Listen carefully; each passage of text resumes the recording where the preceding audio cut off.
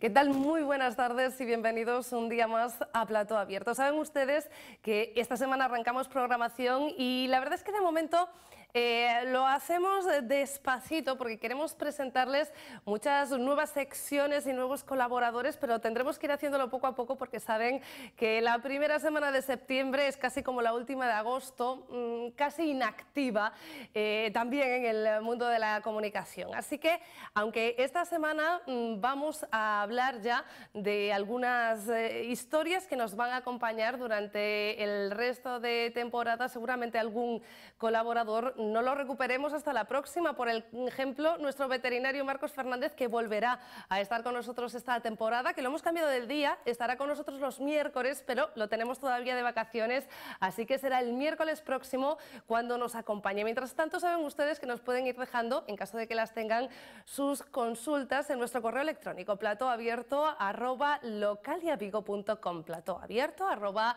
localiavigo.com. Saben que a los concejales los hemos eh, cambiado a la jornada del martes y en breve nos acompañará también Pedro Pablo Gutiérrez, que vendrá una vez al mes como siempre para hablarnos de ópera. Es un colaborador, sin embargo, que casi casi recuperamos hoy porque saben ustedes que él es el presidente de Amigos de Ópera aquí en Vigo y que han presentado ya la programación del otoño lírico y ojo porque las entradas están vendiendo demasiado bien en caso que, que ustedes quieran conseguir una. Así que aquí las claves que el otoño lírico con 13 años a sus espaldas está apenas de la preadolescencia, Amigos de la Ópera cumple 60 años en este 2018 y por eso han buscado una programación si cabe más ambiciosa.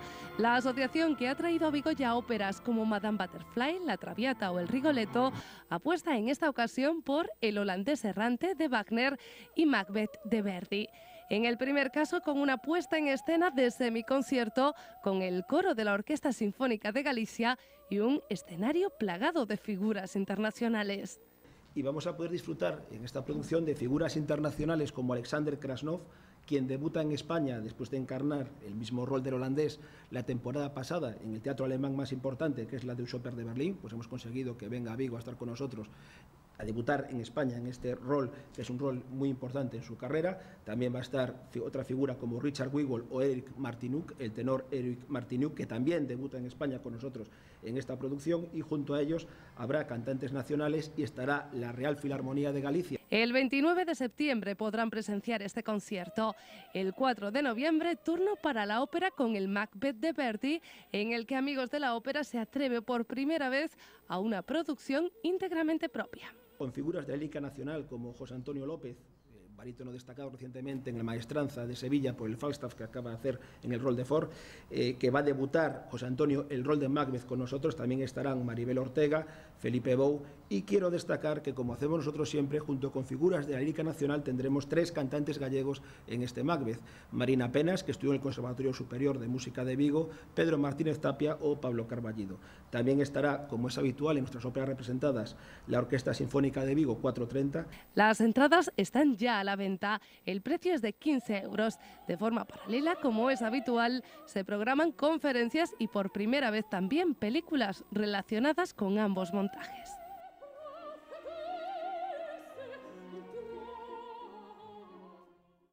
Ojo, el precio es desde los 15 euros. Tendremos con nosotros la próxima semana a Pedro Pablo Gutiérrez hablándonos, en este caso, del primero de los conciertos del holandés errante. Lo tendremos más adelante hablando también de Verdi y ese Macbeth, pero si les parece, podemos adelantar algo ya porque unos de los que van a participar en esa producción también acaban de presentar su propia programación. Hablamos de la orquesta Vigo 430. Tenemos con nosotros a su directora artístico Javier Escobalovar. ¿Qué tal? Muy buenas tardes. Muy buenas tardes.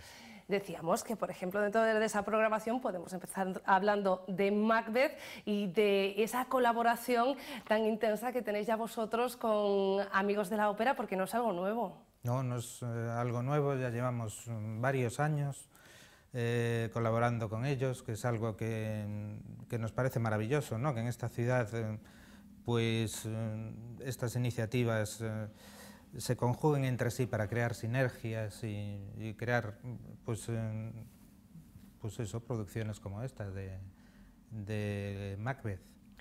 sois una orquesta joven, no por ello no una orquesta grande, sois la tercera sinfónica de Galicia, por decirlo de alguna manera, pero pese a ser grande es complicado participar en proyectos como este porque es complicado encontrar teatros y ciudades que, bueno, que tengan ópera, que produzcan eh, ópera. Por lo tanto, tener una asociación como esta y tener un escenario también como el de la Fundación es eh, un privilegio también, además de una responsabilidad. No, tiene un mérito increíble lo que están haciendo amigos de la ópera porque eh, una ópera es, es, el espectáculo más complejo que puede haber, implica todo. Precisamente estaba hablando ahora con, con la de maquillaje pues, pues eso, maquillaje, vestuario, eh, todo lo que es la, mm, la propuesta escénica está trabajada al milímetro, implica un coro, implica una orquesta, cada uno trabajando primero su, su parte individualmente y después poner todo eso en conjunto es un, realmente es un pequeño milagro, ¿no? cada, cada cada escenificación que se hace de, una ópera. Hablando de milagros, porque bueno, la semana pasada se presentaba la programación de la V430 y bueno, Javier, tú casi hablabas de milagros, de poder hacer lo que hacéis, de esa programación con ocho conciertos durante esta temporada con el presupuesto que tenéis en comparación sobre todo con el presupuesto de otras orquestas de similares características. A veces se sigue echando de menos ese impulso y ese apoyo a la cultura todavía. Sí, por supuesto.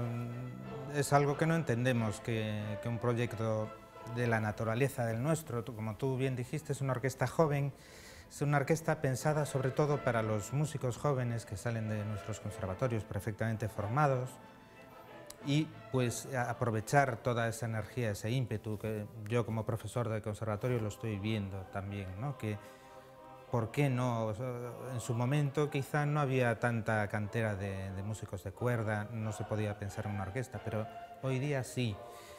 Y nosotros estamos apostando por eso. Y nos parece extraño precisamente que teniendo esta filosofía, pues que sea solamente el Concello de Vigo el que apueste por un, un proyecto yo creo que tan bonito como este y que da oportunidad de, tocar profesionalmente a músicos de toda Galicia. ¿Cuál es la salud de la, ya no solo de la 430, sino de la música clásica aquí en Vigo, en Galicia? De lo que es la orquesta, eh, pues muy buena, que es lo que yo principalmente puedo hablar. Eh, digamos que estamos acostumbrados a hacer maravillas con ese pequeño presupuesto y, bueno, en ese sentido, haciendo las cosas bien, la verdad es que todo ayuda, ¿no? Pues que encuentras mucha colaboración entre los propios músicos, los solistas que vienen, los directores, ¿no? Porque ven que es un proyecto muy atractivo. Y en cuanto a, la ciudad, pues la verdad, yo mm, he hecho en falta un poco más de, colaboración. No sé por qué no... Veo que el público todavía no, no percibe la orquesta como algo suyo. Eh, no, creo que la, hay gran parte de los aficionados de la, a la música clásica en Vigo que todavía no son conscientes de, de la orquesta que tienen, la verdad. Pues vamos a intentar que os conozcan un poco más y yo creo que la mejor forma de conoceros, aparte eh, de una entrevista de tú a tú, aunque la orquesta sois eh, muchos más, es conoceros sobre el escenario. Y para eso podemos hablar de vuestra programación, como decíamos, ocho conciertos.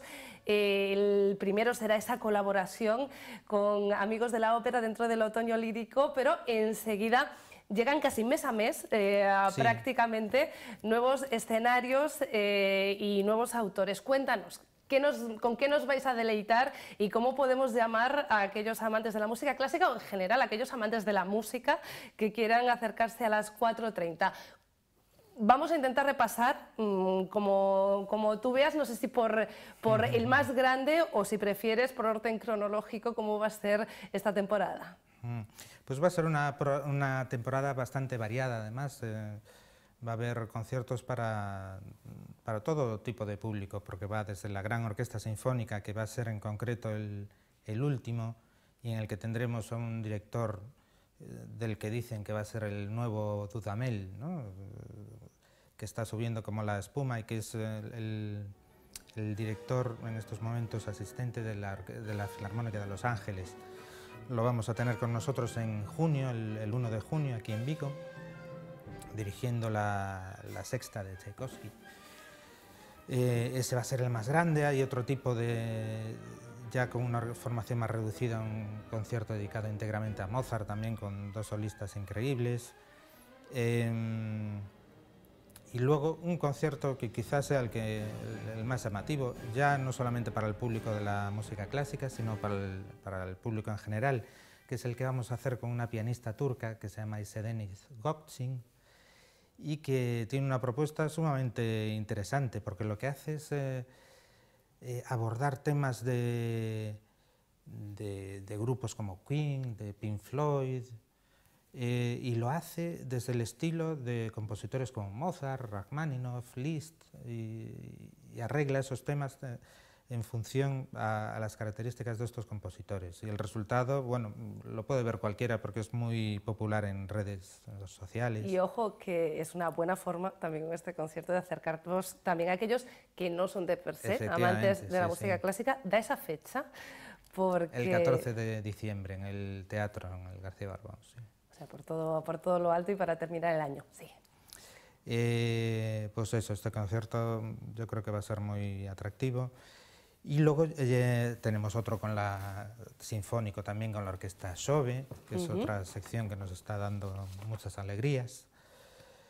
Otro con, con la orquesta barroca, que ya con que nosotros siempre que abordamos el repertorio barroco procuramos hacerlo con esta formación. ¿Por qué? Porque utiliza los instrumentos tal como se, tal como se utilizaban en la época del, uh -huh. del barroco, que tenían cuerdas de tripa, unos arcos diferentes, una forma ligeramente diferente de ser tocados.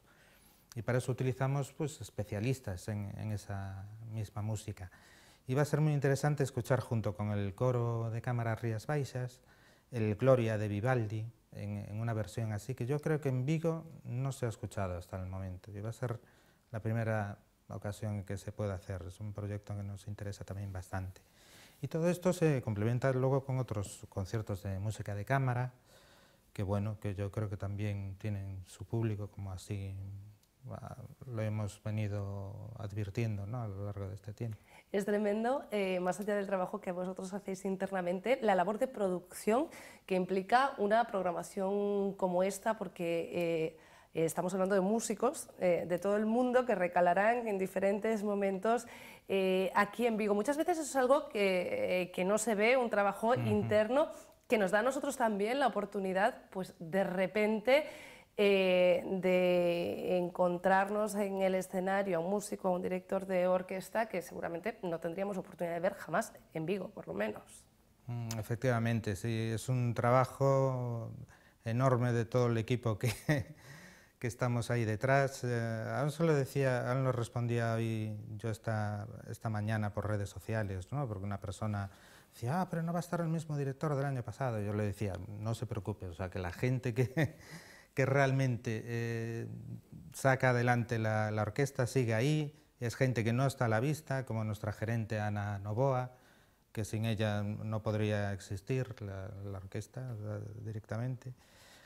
Y sí, es un trabajo que muy duro, que a veces tiene sus sinsabores, por supuesto, pero que bueno, que luego cuando llega el, el día del concierto, pues todo se olvida y ya tienes ganas de más, de que bueno, venga pues el siguiente. Esos días de conciertos irán llegando poco a poco y nosotros nos comprometemos, porque en Plato Abierto intentamos siempre estar muy atentos a la actualidad cultural y también a la agenda, que la agenda es muy importante irla recordando poco a poco, de hacernos eco de esos conciertos, así como vayan llegando en, aquella, en las agendas que continuaremos haciendo cada viernes. Javier Escobar, director artístico de la V430, muchísimas gracias por haber venido a contarnos algo sobre la orquesta? Muchas gracias a vosotros. Ustedes no se me muevan de ahí porque enseguida continuamos con Plató Abierto. Vamos a hablar, porque sí, acabo de llegar y yo también lo necesito, con un psicólogo para ver cómo debemos incorporarnos, no, solo nosotros, a nuestros eh, puestos de trabajo, sino también a lo que nos interesa eh, casi más. Cómo va a ser la vuelta al cole de los más pequeños, sobre todo aquellos que les cuestan más los madrugones y que van renqueando hacia clase. Pero antes, espero que hayan comido porque nuestra próxima propuesta es gastronómica y es que este jueves, mañana ya, empieza el Festival del Marisco aquí en Vigo. Dicen que los meses con R son los mejores para el marisco, así que en Vigo empezamos septiembre con sabor a mar en la Festa do Marisco que llega a su decimosexta edición con lo mejor de la cocina marisqueira a precios populares. Navajas, tamburiñas, cigalas, nécoras, mejillones, percebes, todo amenizado con música y un espacio en el puerto pesquero con un aforo para 2.200 comensales. A intención de facer unha festa para todo tipo de público. Unha festa gastronómica así, que é o que nos, é pilar, noso base, unha festa gastronómica de calidade, forte, eh, é unha festa gastronómica que tamén culturalmente pues, atrae a xente e leve un, un bo recuerdo para todo o mundo. Y es que además de marisco habrá música y actividades para los más pequeños con juegos populares de la jornada del domingo. El pregón durante la inauguración el jueves a la una del mediodía correrá a cargo del 13 veces campeón del mundo de kickboxing, Simón González. Un maestro en todos os aspectos da vida para mí personalmente, porque coñozco, eh, tanto a nivel profesional como a nivel humano, unha persoa que, que ten moito que amosarnos. A fortaleza e a capacidade de lucha, como coa loita e coa intención e co esforzo se pode alcanzar todo aquilo que un quere, non? La cita jueves, viernes, sábado y domingo. La apertura de puertas a partir de las 12 del mediodía. ¿Por qué no tenemos tanto tiempo para nosotros? Porque a veces nos cuesta madrugar, porque de repente regresan esos dolores como mínimo de cabeza que nos produce el estrés por todas estas y muchas otras cosas. Eh, algunos sufrimos los que, lo que se dicen llamar crisis postvacacional, que ya no sé si existe como terminología, pero que nos lo va a aclarar ahora mismo Daniel Novoa, que saben ustedes, es un psicólogo que Dani, yo creo que cada año hablamos de esto, pero es que cada año lo necesitamos, como mínimo esos ánimos que nos das para seguir adelante. Sí, sí, esto es como el que lo sabe, ¿no? Sabe sobre el tema y luego resulta que llega el momento y le pasa lo mismo. Y sigue estando de irritable, sigue teniendo igual dolores de cabeza o se siente cansado y bueno, pues oye, podemos hablar aquí un poquito de esto para tranquilizar a la gente y decirle que no es una patología, ¿eh? no sale ni en el DSM ni en la CIE y bueno, lo que sí es una realidad. Es una realidad que todos vivimos y que todos llegamos estas semanas y nos vemos la cara y vemos al amigo y le decimos, creo que está siendo duro. Bueno, es que ya nadie pregunta qué tal, ¿no? Porque la respuesta suele ser, ¿para qué pregunta? ¿Cómo que qué tal? si ya, se, no estamos ya en se agosto. nota, sí, sí. ¿Cómo que qué tal? No es necesario. De todas formas, yo tengo un cálculo personal. Uh -huh. eh, yo no sé si funciona eh, para todos por igual. A mí me suele funcionar que la semana de... O sea, la semana, el tiempo de adaptación son dos semanas. Más o menos. Lo que lees por ahí son una o dos semanas, pero claro, como tampoco hay un diagnóstico, no hay un, consenso, no hay investigaciones sólidas, pero en general la sabiduría popular, que es muy sabia muchas veces, pues sí que te dice esto, dos semanas, una semana y media, pues como para todo cambio, ¿no? A madrugar un día, dos, la primera semana cuesta más, la segunda un poco más, un poco menos, y luego ya pues se supone que ya vamos cogiendo. ¿Qué consejos podemos seguir? Consejos, bueno, en general, mira, hay uno que ya, ya no le llamo ni consejo, y es una realidad, y es asumir que forma parte, ¿no? Como estoicamente decir, bueno, es que es lo que hay, no tengo que, que, asimilarlo. Y después sí que intentar, bueno, pues lo típico que harías tú cuando dices, si no me quiero dar de frente con algo, ¿qué hago? Pues voy a intentar que sea más progresivo. Entonces no intentar volver de vacaciones justo eh, un día y ya al día siguiente trabajar, eh, intentar no tener un mogollón de volumen. El otro día hablaba con una amiga y estaba toda enfadada porque al volver de vacaciones le habían acumulado prácticamente todo el trabajo. Y claro, digo yo, ostras, es que a ver quién empieza. Si por encima que empiezo a madrugar, que empiezo a tener que estar mucho tiempo sentado, a hacer actividades que a lo mejor me duele la espalda, un... bueno, falta de costumbre. Uh -huh. Si aún por encima me tienes este regalito, más trabajo del habitual, es que ya me matas. O sea, que tenemos que hacer un llamamiento también a los jefes, exacto, que tengan en cuenta ¿eh? que sus empleados van a rendir más si la primer, primera semana de trabajo los dejamos algo más libres, es, ¿no? sentido, com es sentido común, Jova, y además ellos también lo van a notar, es que los propios jefes se van a notar que al principio, como hayan dejado mucho trabajo para dirigir eso, luego va a ser una, una carga. Y si ya vamos a empezar el, el año, porque digamos que es un reseteo las vacaciones, ya con mal rollo, con discusiones, con es complicado. Y ayudarse los compañeros, eso sería genial. El, a lo mejor el compañero que cogió las vacaciones en julio, pues oye, igual que unos echan una mano, otros otro, pues apoyar un poquito y quitar un poco de trabajo también. Dani, lo que más nos interesa, y además yo sé que es tu especialidad, los pequeños, porque bueno, los mayores nos estresamos porque por esta época estamos comprando libros de texto, la mochila, la ropa nueva para la vuelta al cole, que encima estamos preocupados, y esto es lo que vamos a intentar solucionar, por cómo van a afrontar eh, los peques esa vuelta al colegio, porque hay de todo, quien llega saltando y feliz porque no vio a sus compañeros durante varios meses, y los hay, lo sabemos, a los que les cuesta un poquito más. ¿Cómo los animamos?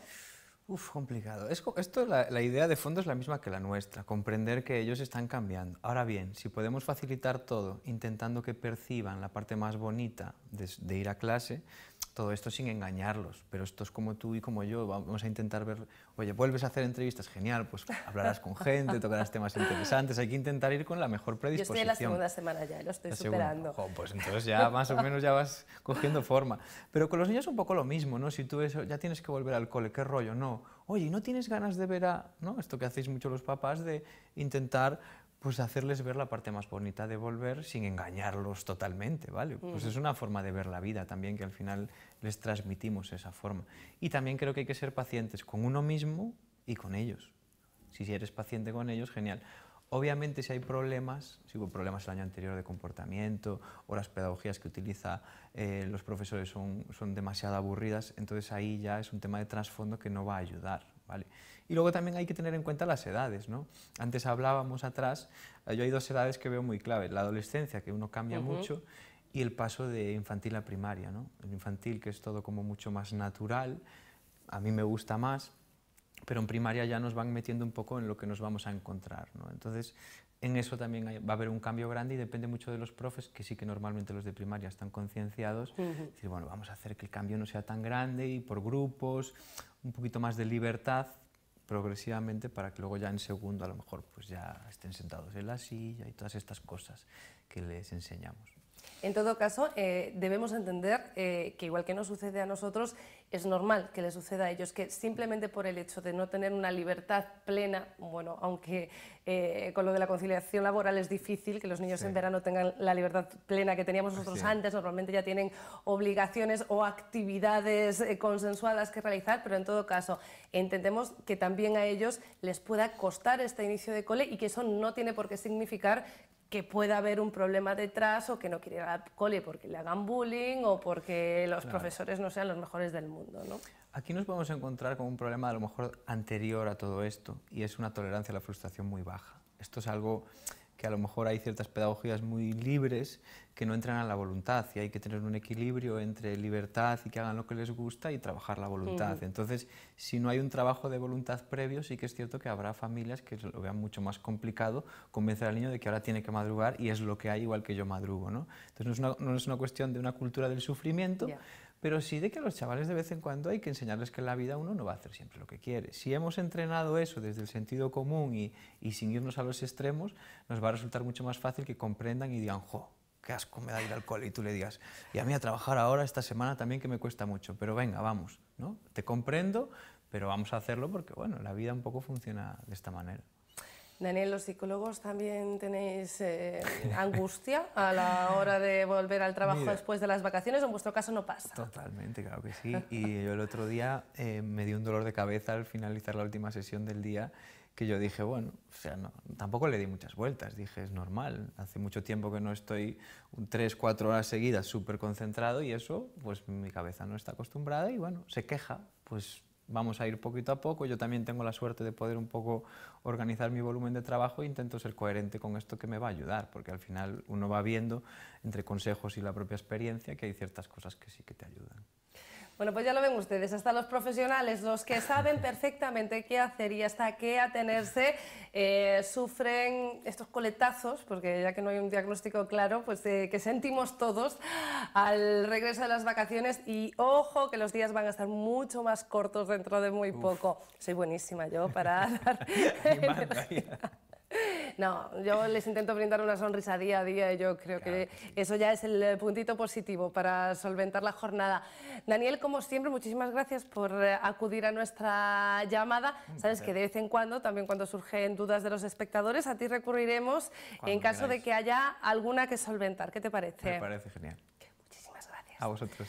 Ya lo saben ustedes también, dentro de ese correo electrónico platoabierto.localiavigo.com saben que ustedes nos pueden eh, enviar todas aquellas cosas, cuestiones que les preocupen. También las preguntas a nuestro veterinario de cabecera, aquellas que quieren que les hagamos los martes a los concejales y en general cualquier cosa que les pueda preocupar, que como en este caso con Dani, aunque esta es una entrevista habitual cuando empezamos temporada, nosotros vamos buscando expertos para intentar encontrarles a ustedes las soluciones. Lo pronto, lo que vamos a hacer es eh, concertar una cita que será mañana a la misma hora, las dos y media. Hasta entonces, un beso.